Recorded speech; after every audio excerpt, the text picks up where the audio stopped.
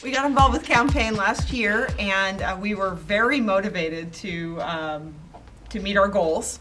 And um, we both created websites, uh, team raiser pages for our campaigns. And Liam had um, a story and a picture on his, and it was very successful.